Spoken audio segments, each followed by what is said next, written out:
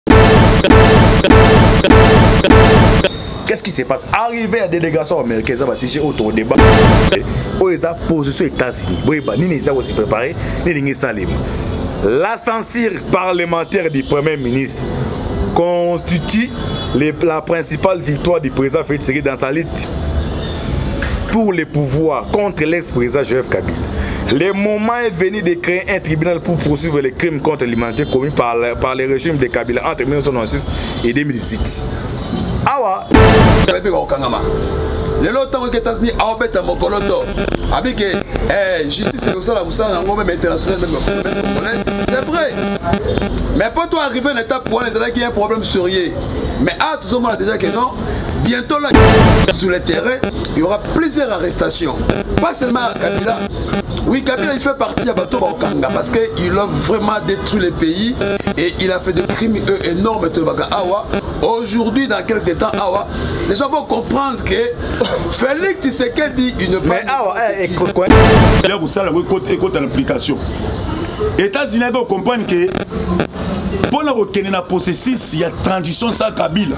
il faut koluka jonker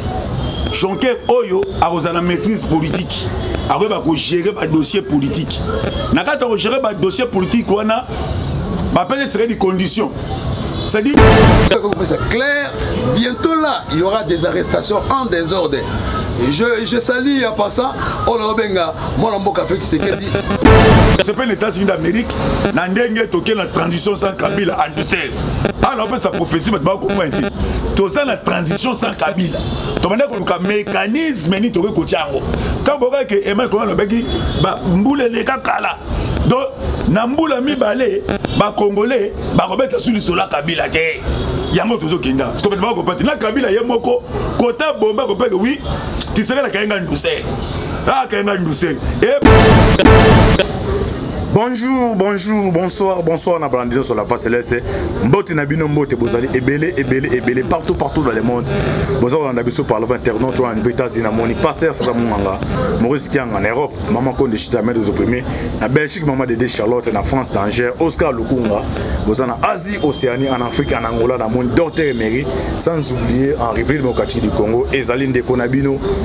moïse mahokanti balemiso bolingaka toloba to toloba te oyo tosalaka décryptage ya actualité politique merci so mingi na ndeko john maboke ebende na ndeko alvin berne toba toujours lola lola eza kofuta nsima tokoloba nzambe bo tokozwa ye wapi nazali na esengo makasi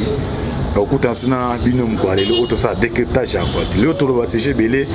evolution ya union sake mboso abimi présent kabundi premier vice président après la nani akozwa primature nani akozwa bakambo ebele ebele ya union sake e tolimbola awa makambo etali ya maponama 2023 nana kozala président seni awa makambo yesu ndongo tolimbola awa survie ya ba na niveau idps esedi idps organisation ya parti ndenge mambo ezokende ekosuka ndenge nini kote mpe ya kabila kuna kabila sa recule azongi nsima alinga rectifia abongama tire so atire aprepare nini plan fcc basali est ce que fcc infilté inosa ke ba infilté te eza ba sujet nyonso actualité oyo tokolimbola biso na vital camere est ce que le 15 akobima to akobima te tolimbola awa ah, yo naza na esengo makasi akoyamba tous les deux baoba ya oyo babengi bakomi na kata idps euh, liboko koto ya mobali namoni le coordinateur armand koto président chiba na bango nyonso nde tosala décryptage ya actualité tobandi epai ya président armand mbote mbote mwana mboka tibale boni sante sante c'est bon par la grâce de dieu eza mpe mikwa mikolo elekaki tobanomona te par rapport badilima batamba makambo ezalaki ebele mais tosepeli na invitation na yo epuis mbenga bato nde basepeli toya na kati na plateau tomeka koloba ya moke ya autorité politique par rapport ya mboka oti wapi tokomi mpe tozokende wapi yango eza important na mokolo ya lelo mpona mboka na biso ya ok koto tokomoni présa ciba mbote ah, mbote antibal mbote Bonne santé. Santé est bien par la grâce de Dieu, tout ça bien. en forme tozali okay, directement tocontinue na boni union sacré tokomi wapi tozokende wapi tokosuka wapi union sacré eza bien eza eloko ya bana nzambe oyo basanganaki bapesaki makanisi babimisi idée ya union sacré yango nde ezali espoir ya peuple congolais parce que kuna bacongolais tout basanganaki bapesaki makanisi sadi kuna moto ya motema mabe aza te so oza motema ndoki union sacré ekobwako libanda eza kwa mai na biso ya nini oseya ya lingaka bosoto te sadi union sacré eza bien bango tu baza na même vision ya mokonzi ya mboka malamu mingi ok baza na même vision ya mokonzi ya mboka directement de premier sujet na biso obengi awa wana ozonga epa président ama totanga déclaration ya poso états-unis toyeba toyebi kena baanalyse nini toka to décortique biso miboyeba situation moko tozape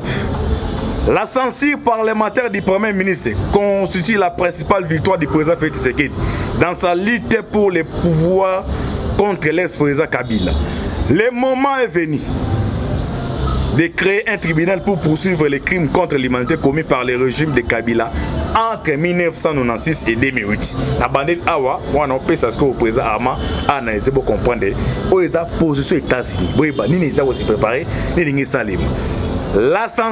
parlementaire du Premier ministre constitue la principale victoire du président Félix Seri dans sa lutte pour le pouvoir contre l'ex-président Joseph Kabila. Le moment est venu de créer un tribunal pour poursuivre les crimes contre l'humanité commis par, le régime de Kabila entre 1996 et 2018. Alors, comme les émissions a dit que non kolongwa demission ya ilumukamba ezali un pouvoir moko un plus epai ya ngambo ya tisekedi oyo tisekedi abotoli yango regime akabi ake mosika bike ngonga ekoki oyo il faut justice congolais soit justice internationale bafungola badossier ya bacrime donc banda 1996 oyo rapport mapping obshebea oh, tous les bacrime au régime akabila ekometaki il faut ajuge bango so omoni aimant kowana alobi alobaki dans i dans, dans une, dans une année obe une année de, na six mois kabila tokoba olobela lisusu te ye te tomoni déjà ayo eza kokokisama alors langage oyo états-unis oyo nini ebatami nsima ya langage ya herman cohen est ce que makambo oyo osalema siko eza plan ya baaméricain oyo ape tshisekedi tshisekedi a un simple exécutant parce que nyonso baza koloba ezosalema nyonso baloba ezosalema pesi parole epa présent arma cordo arma mwana mboka tokoloba boye eza urgence oyo soki okoma na kati ya congo eza phénomène moko oyo bato banda kokanisa ata mosusu neti maseki mais lelo ezoko na réalité bokwesami ya mwana mboka ilunga kamba elasi clair que président de la république félix tshisekedi aza na contrôle total ya mboka pour le moment vision ya mokonzi ya mboka ezalaki kaka vision moko ya komettre état de droit démocratie na kati ya mboka mpo ete makambo echange baaméricain bazala nsima ou pas mais je crois que na vision ya chef de l'état il y a une partenariat entre état congolais na état américain oyo ezali en place ndeko norman cowel asabeta ya masolo oyo avec mwana mwana mboka wana tshisekedi aza mwana félix tshisekedi aza mwana tshisekedi papa jamais tshisekedi papa ako forme mwana na ye na bantivaleur moko boye mais lelo bato bato se rendre compte que félix tshisekedi aye nde koexécute plan oyo tobengaka le peuple d'abord mais d'abord parcours ya combat oyo abundi respect ya batexte et mettre état de droit et puis démocratie na kati ya mboka il y a des noms oyo eza cité déjà ke bayebi kokangama lelo ntango eke etats-unis aobeta mokoloto abike eh, justice ekosala mosala na yango meme international meme congolais c'est vrai mais mpo to arrive na étape wana ezalaki un problème sérieux mais awa tozomona déjà que non bientôt là il y aura un nouveau gouvernement bientôt là la justice ya mboka oyo tobengi ya union sacrée mis par la pratique ya vision ya politique ya tshisekedi sur le terrain il y aura plusieurs arrestations pas seulement ya kabila Oui, Kabila, il fait partie de Bato Okanga parce qu'il a vraiment détruit le pays et il a fait des crimes énormes. Awa,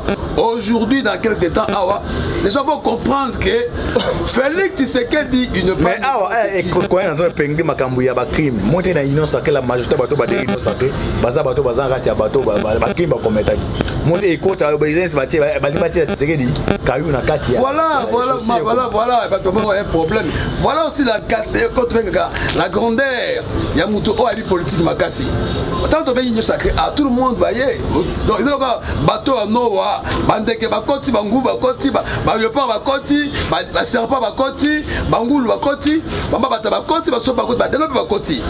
mais na kati wana ya prendre et à laisser tofungoli maboko baya parce que bato mingi baye kose cache lelo sotuna motuni nasala soki réponse otunaka réponse moko la plupart bato bacompose nyosaki bato batanai eza bato ya fcc mais lelo programme oyo eza en place eza programme ya nani voilà le problème lelo oyo ta toyoki la justice avec l'état omonake non justice ya mboka ema kokanga moko moko moko mpo na kotika réellement programme ya chef de l'état ezala accompli kobanda na kabila yo molokola moyi kasanja lelo aza na kati ya union sacré la mère mende omalanga babenga lepoke chaku eh? eh, raise raise lelo bakata union sacré la plupart bateneur nyonso union sacré ya fcs baza bakata union sacré soki omoni meme oyo totie oyo bapropose oyo azana kata proposition aba président ya assemblée nationale Evi Mboso, asa moto anani FCC mais aujourd'hui vous sentez que non décor politique esali ye mwa elengi échanger philosophie moko boye oyo ekotaka ta poto ya rdc mais je sais bien que les américains bazali bapartenaire na biso oyo tozotravaille na bango sur le plan militaire oyo oh, bazala plan rapport mapping oyo oh, bazolinga juste sa mboka eza te parce que le vieil pays amérique eza vieil pays ya démocratie mpe ya justice après tolobaka na kati ya mboka oyo ntango bato mpe place oloba o oh, te injustice eleki trop kuna bato basala boye boye pour cela yango moleki non barapport ekoki kopesa clair bientôt là il y aura des arrestations en désordre je, je salue en passant oyo naobenga mwana mboka felix sekedi d'avoir accepté d'être peut-être ridiculisé hein, en ce temps là mais d'avoir prendre une position pour accomplir oyo ezali mission na ye maintenant tout le monde parle kino tshisekedi aye na molimo ya ditarti ok merci na ozongi lo alors président todoki nini hmm. koko koko commentaire na mpona déclaration ya eh, déclaration états-unis wana nakoti mpena na esprit ya ambassadeur wana koloba nini omoni kosala transition sans kabila parce que tozala na transition sans kabila ezalaki na baforme esiko ebele ya kosala yango ekota na application états-unis ayaki kocomprendre ke mpo na kokende na processus ya transition sa kabila il faut koluka jonker jonker oyo akozala na maîtrise politique akoyeba kogere badossier politique na kati ya kogere badossier politique wana bapesa etikali condition c'est-à-dire yo ozoluka mbongo libanda me mbongo eza na batekisa bato oyo il faut créer na biso yo oza secret omoni union sacré wana na biso yo omoni bato nde batondi bato ebele bakokanga bango alo na kati ya transition sans kabila ezalaki na bamécanisme ebele mpo esakomplir nde etats-unis arevele yango awa omoni allemagne kolobaki nini dans deux ans plus tard baotanga su komba kabila te siko fomeli baotanga komba kabila te il faut tisekedi empêche bakolita kabila babima benda bango koto oyo so okoti bango koto okangisi bango bloc obeti eloko babengi nkombo union sacré après nde obanda lokota bango lokola bambinzo malembe malembe malembe malembe nde tokende ngo wana tosepeli na états-unis ntango yo eh, antiba alobi ke non est ce que tisekela eh, eh, ezekita nini oui tisekedi lokola akotaki na munduki te kaka na papier il fallait aluka ba partenaire partenaire ya liboso ezalaki états-unis d'amérique alors états-unis amonaki non chemin ya bie eza nini toke na transition sa kabila mais yo foza nini andusere omate kabila bakangi kabila andusere ntango ebabi nini tozotya eh, tpi awa ça veut dire bato oyo tpi kokanga baza na liste ya mapinga journaliste ya mapingi maso otali bango mingi tala bebo na union sacré kotiana kabo nini soki atiki demo tolanda mambunda libanda omona mambunda aza kimi aoya su te mwasi wana aza mayele makasi aoya su te siko bao batikali awa nde bakokanga bango na pete nyonso cestadire tosepeli na chef de l'état tosepeli na états-unis d'amérique na ndenge toke na transition sans kabila andusel awa naopesa prophétie bato bakokomana te toza na transition sans kabila tobandaki koluka mécanisme nini tokoki kotya yango ntango boyokaki ke emmanuel koma alobaki mbula eleka kala donc na mbula mibale bakongole bakobeta su lisolo ya kabila te yango tozokenda sikobeta bakopati na kabila ye moko kota bomba kopeke wi tisaka na kayenga nduse ah kayenga nduse e eh, bamiyibi mosusu croyant ke soki barejoindre bloc ya union peut-être bakozala sauve mais sela binini soki basengi nga bino na kopesa bino na biso match eza kwata match ya kwata kobeta na motu mo maboko te na oyo bayi na nyonso te tika bango na baya mboso tika bango siko na kati ya inonso kango est ce que bato boza satisfait te bobanga te basorti ezela ebele par rapport ba entrain de ekotaki te sorti la composition ya 30 ministère Eh oui. bela bato ya mobondo nde babalingala wana kinga kingi mobondo ya bato bakoti wana omoni vision se préparer mpona nayebisi yo match eza kitoko omoni soki président bai ke totya gouvernement 85 personnes nde tokotomba baperdant mais gouvernement eza réduit basangisi baministère mosusu basangisi sangisi sangisi ekomi eloko moko c'est-à-dire na kati ya idée ya chef eza ke soki bosadere na vision na ngai ngai na oza alobi nakoki koplaide mpo na bino parce que ngai nde chef de l'état mais soki boye na ndenge acambulake tozoba nini esimba te mpe bao bana neti ke batante kocreye aventure mapingo ma mapingo oyo oyebi ke soki gouvernement union secret bimi ministre ya justice ye moto abasiki kokanga bato oyebi yango parce que oyo azojoue oyo azojoue interim siko ministre ya justice oyo aza mpena peuple koyebika ministre biso ya justice yeyo nkombo na ye antibal ye moto akozwa lisa mapingo atie likolo ya mesa e mesi ozalaki site yaka nanu justice eza mposa nao bakangi yo baseki te ndeko antibal merci tozongi kotoye kote pa président armand lo président armand bemba na katun badesistaki moke tomoni bazongi mosusu bandimi bino bondimi kopesa yango baprimati biloko basengaki bien boza sike non comme boza bamoko bakoloba ta idps ba ministère regalen ezalaka na idps ese moto mosusu ya union sacré ensemble ya msc bakota na kati te après dire makamboregalien tokobetala motolo te eza bitia mo privé ya mokonzi ya mboka alors wana vraiment na kati ya koyeba lisolo makasi parce que chef de l'état il peut mettre un udps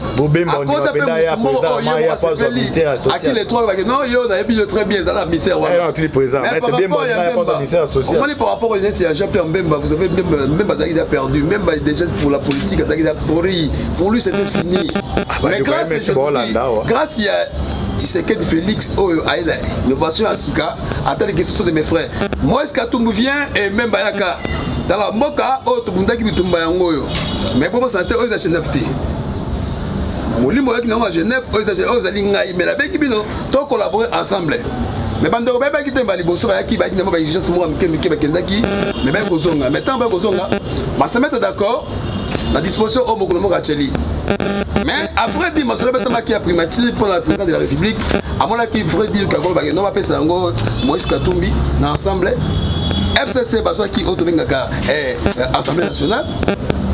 mais na kati assemblée nationale wana président azwi mpion na ye azwi atio na kati ya fcc oyo babengi le doyen mbusu abimi wana mais na kota primature combat ezali mwa moke parce que aka ya, ya, ya résistance ya ndeko moïse katumbi bapio mosusu ezali ya makasi oyo monene eza kutu valable eza kopesa nde chef d'état na mosala bakatuta ozomona donc na kote ya jean pierre mbemba nde masolo ebetamaki mibale asengaki ministère oyo tobengaka ya finance na banque président de la république ataki non je sais bien place nini akotize yo et à la fin de compte il se s'incline as'inclinaki mpe basala déclaration aye na union sacrée te mpo na poste parce qu'il savait bien que non soki na ye peut-être ekopesa bacondition awa ya beaucoup de congolais mwana mboka tibale oyo baza mpe koservir mboka na bango sans condition mpo mboka e avance liboso yango moni ndeko mbemba akazaki mbemba eza ya kala me mbemba ya kala eza nde tshisekedi ya lelo yango moni makambo tu wana balekisi kozeli na bango amiable oyo ekobima awa ezala volonté ya chef de l'état je vous dis il y aura pas une condition bapesi na motu ke otengana kozala boye ongana kozala boye me ndeko bati wana bato boyeki ye te ote ye kutu boye bometango tisikela zwi ye alave asokoli ye apesi espoir de vivre azosala mosala oyo bata esali mosala na ye kitoko mais bata demontre na monde kaka il est capable azwi majorité lelo majorité ye destin niveau assemblée nationale yango moni nayebisi bato mingi ko bakalikili ya bato ezalaki na bashosho makasi mokonzi ya mboka abeti bale kitoko mais mpo na bapoids lourd nyonso présent akoservi na moto na moto par rapport ya vision na ye epuis na place ya kotya ye eza na condition te bon bongo dio mindongala ese vétéran bongo frank diongo aya eh, toloba nini mama ariet wangu bato batikali fidèle sans condition pa félix tshisekedi baza na kati ya parlement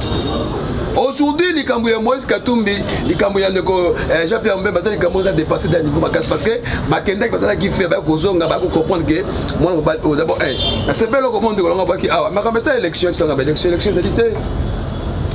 eza nango sous forme ya transition selon biso te mais selon mboka nde ezali kotambola parce que tout le monde voit yebisa ngai oui il faut babimela balabala il faut d'ailleurs tozo encourage bandeko fayeli babimela balabala estabilité ekota te pourquoi communauté internationale na peuple kona bayebi ke comment baélection ekakata mboka oyo toujours baréclamation toujours barevendication toujours toujours base soulèvement mais aujourd'hui tisekela bike non avant d'aller na toute élection il faut tomeka lelo korecense bato il faut lelo to identifie moko na moko na kati ya rdc mpo tokende baélection ya malamu mpo toboyi lobi te ote oh, kuna misaka ba 1 million de voix na mamboka ma moke bato babeka ba 1 million yango moni ndeko gilbert kakonde longonya na mosala sali makasi na kati ya gouvernement et tozo souhaite aussi na bandeko mosusu baembrate le pas kala mingi te tokokenda bato identification nationale ezobanda je crois que dans un mois awa omona que opération identification ebandi na kati ya rdc mobimba congolais alonga congolais provisoire congolais akoma identifie na carte na ye ya identité etaki un congolais tala ministère ya centralisation oyo topesaki rubewa elukaki biso makambo na kati ya mboka oyo yango omoni makambo etali baministère oyo oh, te bazwi ba ministère te bareduit ba ministère par rapport ga ministère ya décentralisation ezongi na kati intérieure ezalaki branche moko bafungolaka mpona kokotisa bato basepelisa bato na kabila na nani mais sikoyo tikela bi te tokende na vision union sacré vie union sacré babi intérêt du peuple intérêt du peuple ezali nini volonté ya peuple nde ekokisama voilà peuple nde akosenga tisekedi na mandat ozwaki esi naliaki na mandat ozwaki esi nasalaki na mandat okambi mboka est ce que peuple azalaki na guerre voilà le problème yango moni lelo oyo bakoma oyo oh, te to père de armée to père de justice oyo oh, to père de boye te eza eloko ya motu te eza eloko ya mboka merci président ama tozongotoye kote pa koko alors koko hmm. na kati ya parti idps eza bamécontent bato baza kolela mais alarme na bayebi te banani bakokotela bango alors bato mosusu akekela tous les baministre oyo bazalaki hmm. na gouvernement ya fccash bango to bakende misu mpe fo batikala mm. alors na niva parti boprépare nde osi prépare nde yeni pa union sako botikali na 2 ans mm. oyo 2023 na base ya bino borendre compte na population ese mm.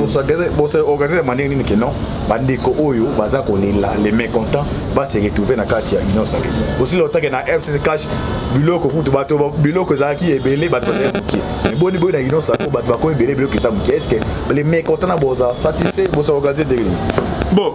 omoni nakoloba na part na biso na collectif hein? eh, tozo korevendiquer eh, parce que au moins na gouvernement ya coalition hein. oui oui merci na gouvernement coalition tozalaki mpena na part te tozalaki bato mosusu badrible biso vu que bato mosusu mpe politique eza mpena moins mpo bazali mpena forme te mais na mosala oyo tosali donc j'espère que bacollègue tout eh, baza déterminé e biso nde toza boye idps eza na nyongola biso biso ya nyongo ya idps te nde tosengaki na tata mokonzi ekolo eh, biso nde toza base biso nde totemaka liboso ya bato tosengaki part na biso bapesa biso kota na biso ya ministère e bapesa biso mpe na bamandataire parce que mpo togere mpe bato na biso donc cette fois-ci tolingi te ke tobala kolelaeza bato baza compétent oui bato ba compétent collectif toyala bato ba compétent tokomisa mpe premier ministre aza collectif bazali oyo bato ya mayele bazali oyo mpe badirige mboka na vision tisekedi lelo tokoba nini babe nini félix nde aza wana atika okoka yo nazokoka nde na niveau collectif ezali parce que na collectif tozali baelève etiel tisekedi bambuluma parce que moto acreye eloko wana eza tisekedi nde tosengaki na bakonzi tozopesa bango respect tolobaki na deux ans tozwaki ya chômage biso tonyokwami na konyoka moi tonyokwami tozwi par te totali kaka ebozela nanu eboza tozeli mais sikoyo nde tokende union sacré tolobaki ke gouvernement ekoki kobima te sans que même sans que mutu na biso moko ya collectif aza na kati ya nini wana eso bopimela biso ministère bolobaka te omoni tolingaki topesa bino soki ezalaki 98 personnes to babotisa ba iyo me makambo etali bamandataire bokopesa biso motuluku ya makambo ebele parce que toza na bato ebele bamiliso botielaki biso bon tokoki kosita ata mwa ndambo neti ya jibek akoni tobeti maboko longonya e tobeti mpe maboko pa junior mata tobeti maboko longonya e tobeti mpe pa maître sive mutu tobeti maboko longonya mais ba mosusu batikalaki nde biso tokoremplace bango to remplacer bango place wana parce que bato obeti maboko basali bino nini ok ozonga koto chite ozonga po chite alors nayebi bango po eza ma ebondi na maboko ezazoloba mpe clair nga alingi tozala mwa clair place wana je dirais directement na bacadre parti nazoloba jean kabunde nazoloba augustin kavua cese kodistraire bacombattant biso bacombattant toza bamarche pied ya bino te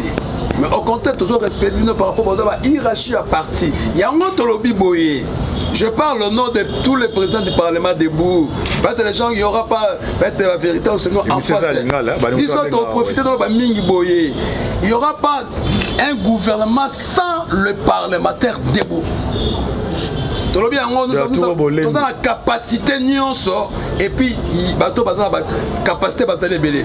et akan ya manque ya parlementaire debout na kati eloko wana y aura une crise na kati ya mboka d'ailleurs ebanda na kati ya parti mpo ebake no bofonctionne te ya mibale na kati ya mboka mokonzi ya mboka acomprendre ke le rôle au parlement debout bundi na kati ya mboka oyo yango esali lelo mokonzi ya mboka na mboka ezala nti lelo eza informe mpo na chute ekotaka kaka par wana baparlementaire debout mingi baprésident ya parlement debout mingi bazali oyo tobenga bango baza bato ya batya lelo soki olobi verité aleki kuna mokonzi apesi mwa 50 mwa 2 mwa 10 abi n'importe quoi mais biso oyo tozo revendiquer cause noble biso oyo toli parmi baoyo tobengaka badoyen oyo totikela lokola basymbole na kati ya baparlementaire debout tosorganize biso nyonso bloc moko tona ni tendance ni couleur nous sommes derrière le chef de l'état nous respectons les cadres oyo baza établi mais tobanga bango te